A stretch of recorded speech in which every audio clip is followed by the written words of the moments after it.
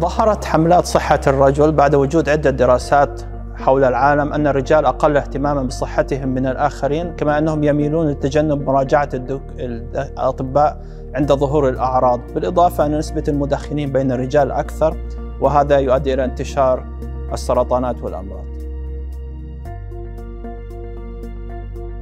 هذا سؤال جيد. هناك مشكلات للبروستات سواء تضخم البروستات الحميد أو الكشف المبكر على سرطان البروستات مشاكل نقص هرمون الذكورة ومشاكل الذكورة بشكل عام بما فيها مشاكل العقم والإنجاب.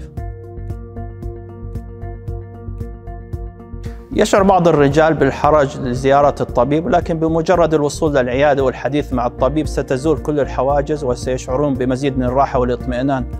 كما أن كليفلاند كلينيك أبو ظبي أتاح أعلى درجات السرية والخصوصية للمريض ومؤخرا أضفنا زيارة الطبيب عن طريق الاتصال المرئي. نقص هرمون الذكورة هو من أكثر الأمراض شيوعا بين الرجال. تقريبا 40% من الرجال 40 45 يعانون من نقص هرمون الذكورة. الأعراض هي نقص القدرة على التركيز الشعور بالإجهاد زيادة الكتلة الدهنية في الجسم نقص الكتلة العضلية ونقص الرغبة الجنسية.